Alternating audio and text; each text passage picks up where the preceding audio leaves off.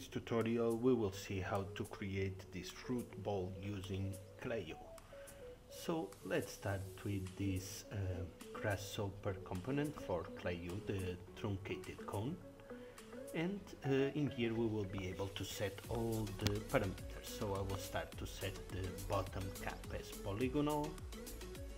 And then we can define the measurements. In here we have the top radius, where can I set the measurement so it's set it by 2 so I'm going to put it 6 and looks better now so I'm just defining the shape in this in this truncated cone. Also I can set here the number of divisions so we will create here a slider to be able to play with the number of divisions and uh, now I want to adjust the number of divisions. We can change any divisions we want. Then we can go back and redefine it.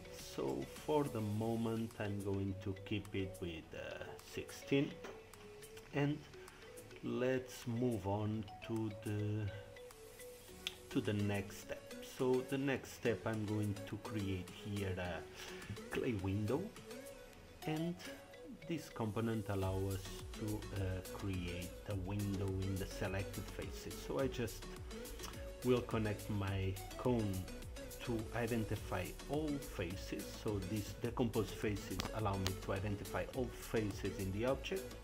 And then I apply the window in all the faces of my object. As you can see we will be able also to define the distance to any other value in here we can adjust the window size. Let's define let me also hide the, original one. And now we just see the clay window component as you can see. Really nice. So the next step will be to define the shell. So the shell will be will be uh, in this case connected the clay object. I want here to define the thickness. So once again I need to select all faces and I define my shell to all the faces in this clay object.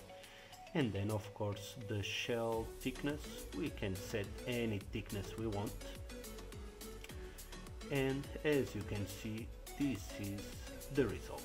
Looks really cool we can just um, in this point add the smooth mode. So let's connect this to the instead of the basic view smooth mode view.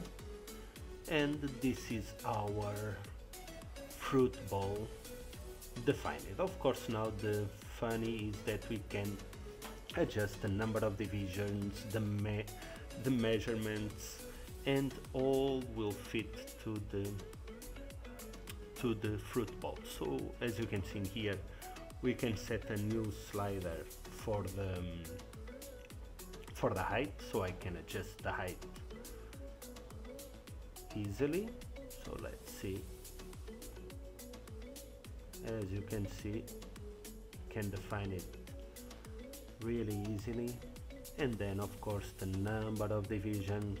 We can play with the shape of this fruit bowl and create many many variations. So this is the idea. Really really easy. The advantage of using clay Clayoo inside Grasshopper. Play around with the shapes different different um, models we can create with all these uh, variations. As you can see it's quite easy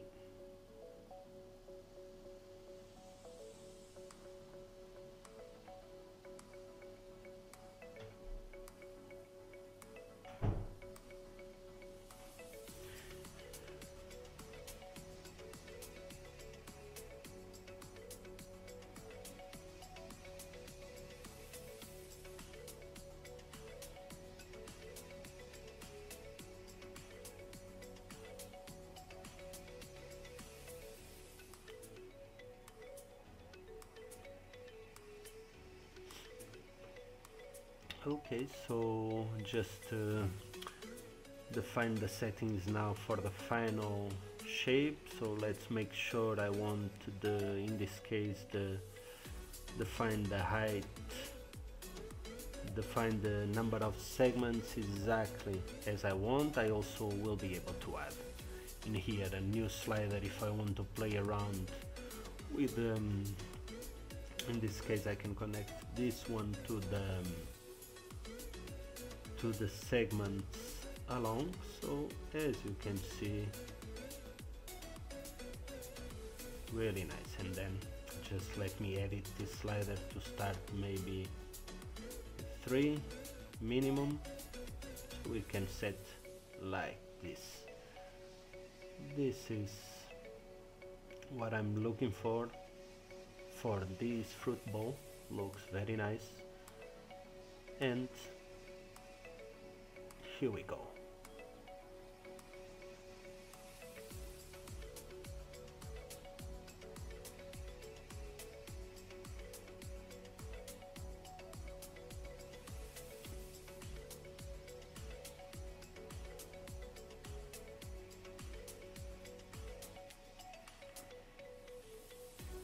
Okay so we are ready. Thank you very much for watching and let's see now. This is the final result. Let's see how it looks. Thank you